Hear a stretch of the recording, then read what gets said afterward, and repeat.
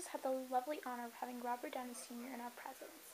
He is a legendary underground filmmaker and father of actor Robert Downey Jr.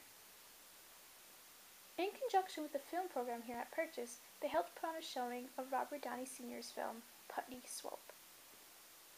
Putney Swope is considered one of the first black exploitation films. It was a satire that openly mocked the advertising world while using racial commentary.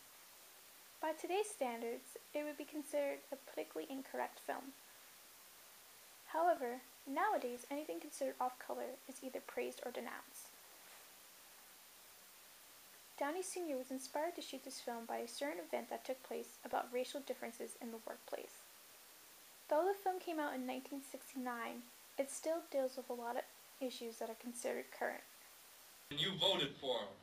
We all voted for him because we thought no one else would vote for him. Putney Swope is the new chairman of this board. They said to me, we're both doing the same job and you get paid more than me. He was black. And so I went into the boss and said that. Why is he not making as much as me? We're doing the same thing. And he said to him, if I give you a raise, I got to give everybody a raise. Blah, blah, blah, blah, blah. And we'll be right back where we started. And that's in the film. And that provoked me to go home and start writing. Senior also had a special treat for the audience, giving us a glimpse of Robert Downey Jr.'s first acting gig. His first role was as a human, portraying a dog in the film Pound.